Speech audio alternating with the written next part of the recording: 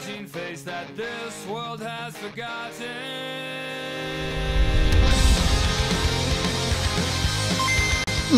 What is up, guys? And of course, welcome to another episode of Who Was Really Better. And this time, we're looking upon, of course, the two really, really strong fire types, being, of course, Arcanine and Entei. And joining me today is, of course, one of my good friends and definitely the best Arcanine player I do know about, being, of course, Eric or Ashton Akai. So make sure to check out his channel. It's going to be linked, of course, down below. Now, I'm more of an Entei player myself, so I'm going to be, of course, Team Entei. As, of course, Eric going to provide information on both of these Pokemon. Clearly, you know they share both the same typing, being, of course, Fire which is a very good defensive typing outside of the Stealth Rock situation, but Fire type actually do resist a whole lot of things which makes these both Pokemon really, really good because they're bulkier, stronger, and actually quite speedier. They are below average base stats, and but still extremely similar.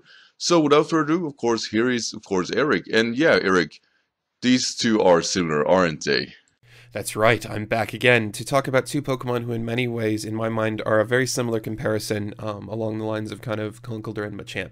But I'll get into that in a little bit because we're going to talk about who I think is better, Arcanine or Entei. So we'll start with their base stat totals. Um, Arcanine has 90 HP, 110 attack, 80 defense, 100 special attack, 80 sped def, and 95 speed. And Entei has 115 HP, 115 attack, 85 defense, 90 special attack, 75 sped def, and 100 speed. So Entei, Entei the faster, kind of harder hitting option um, with a higher HP stat. Um, their their bulk is pretty similar. Um, aside, you know, if you if you don't take the HP into account, you know, 80 80 versus 85 75, not a lot there.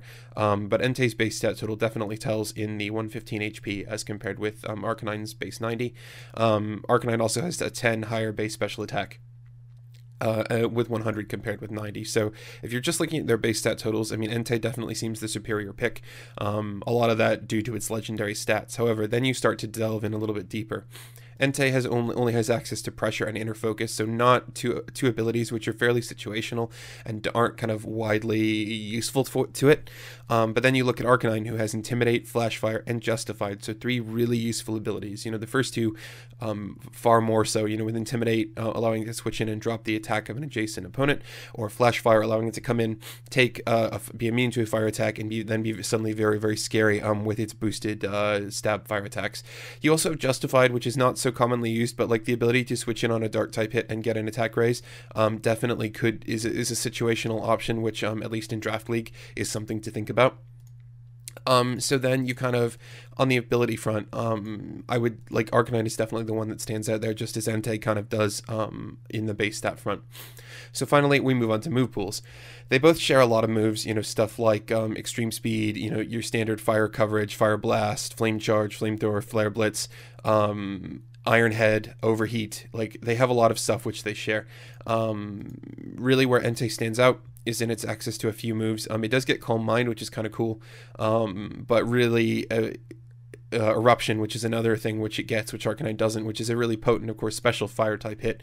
But that's not the thing which Entei really wants to go for. Um, it's strong in the sun, sure, but from 90 base special attack, any if you take even the slightest bit of damage, it's going to be a much less potent option than uh, than Sacred Fire. So Sacred Fire is the move which kind of defines Entei in the same way that Dynamic Punch kind of defines Machamp. Um, it's you know the the generally when you see an Entei, it's going to be banded with Sacred Fire, Extreme Speed, Stone Edge, and a fourth move. Um, just because you know a base 100 physical hit from a base 115 attack that has a 50% chance to burn is huge, particularly up through to last gen when of course a burn on a bulky mon meant it was taking a, a good chunk of residual damage, and this is what made Entei so potent, um, in my opinion. Um, at least up until recently. With the changes to burn mechanics in Gen 7, one would argue that it's slightly less potent just because there are Mons which would have been 2 hit KO'd after a burn by Sacred Fire, which now survive that. Um, I mean, so Entei, definitely, it's a very, very powerful, potent fire type Mon. But if you actually look at its move pool, aside from Sacred Fire, it definitely shallows out a bit. Like, it doesn't have some coverage that it needs. Um, its best ground type move is Bulldoze at only base 60 power.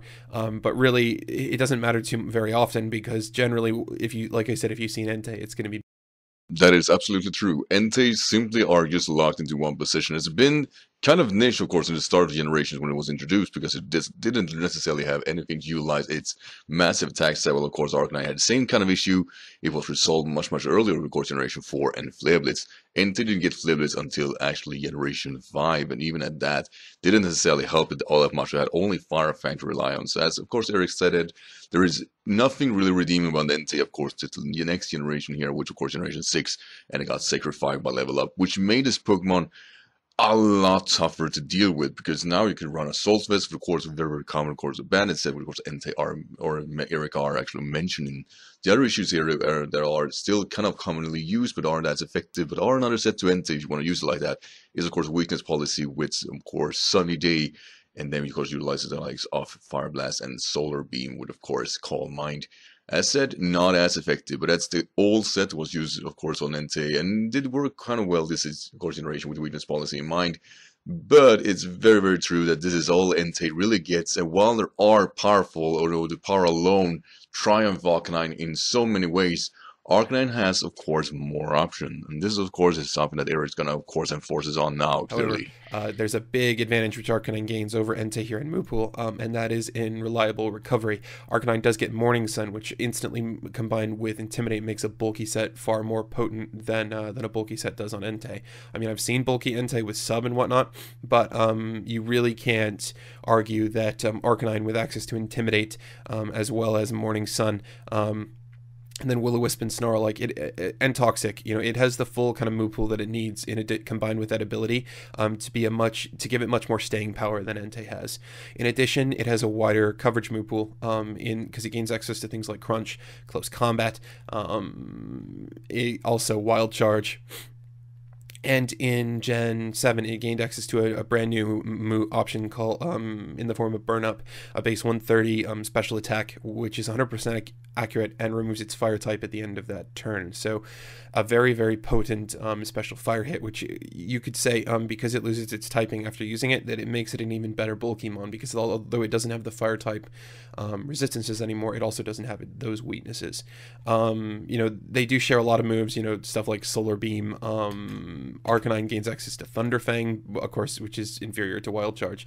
It gains access to Agility, which is important to note. But um, basically, as I'm, I'm, I've been talking for like five minutes now. It's I should probably get to my conclusion. That is, who do I think is better? This combo, these two Pokemon to Machamp Conkeldurr is because very much the comparison is pretty similar. You have Entei, which is potentially the more potent offensive option, uh, but it really only has one um, set which it likes to run, um, and it's you know it's it's it's very often going to be Banded Sacred Fire, Charcoal Sacred Fire, just Sacred Fire, Sacred Fire, Sacred Fire, in the same way that Machamp generally is going to spam Dynamic Punch. Arcanine, on the other hand, has a lot of different options that it can, eh, you know, a lot of different roles it can perform on the team. Um, you know, it can be a fire immunity, it can be a fire resist with Intimidate, it can be a dark type switch in with Justified, and eh, due to its move pool, um, it can hit a lot more things than Entei can super effectively. And generally, I think has a much wider number of roles that it can play on the team due to its higher, you know, its its very balanced stats and um, higher special attack. So which one do I think is better? Um, I'm gonna go with Arcanine here. Um, like they're both very very potent fire types, but um, in the same way that I, I said Conkeldurr was better due to its greater flexibility and greater staying power and just wider number of roles that it can perform on the team. In the same way, um, I think Arcanine due to its flexibility and the fact that it can do a number of different things very well, um, as opposed to Entei who just kind of does one thing, um, and one thing that in many ways was kind of nerfed in this in this last gen. Um, I think that that definitely um, gives the nod to Arcanine here. You know, it's a very bulky, it's a bulky fire type who can very much be a more defensive mon or a very very potent offensive threat. You know, with a choice band or a life orb, um, and that right there, I think. Is- and I do agree here with Eric, and also thank you so much for, of course, wrapping this episode just fluently here. I really had a script of my own when going into this video, but after listening to Eric's responses and of course his arguments for making of course Arcanine better over Entei, I really didn't feel that my input would be much better. I definitely feel that he is on spot and definitely deserves this whole episode. I use a wide thank you for, of course, making it so distinguished why Arcanine is better than Entei. And it's very true. Entei might actually have been considered better between these two in the previous generation, of course, Generation 6. But with, of course, the burn nerf and, of course, the new move with Burnout, Not only did Entei get slightly nerfed, but Arcanine got a new viable defensive option, and one really has to take that into consideration. Arcanine is just more widely used. It has more maneuverability, it's much more unpredictable. Even though, of course, the defensive set is the one that most people are reliant on, this Pokemon does pack a punch offensively, and of course with a broader move pool than of course Entei, it's just that much tougher to deal with. So it's very easy to see, of course, why Arcanine would win between these two, but it's a, still a you know, strong nod to Entei. It's still a very, very dangerous Pokemon. The Sacred Fire is still Sacred Fire and a very, very dangerous hit.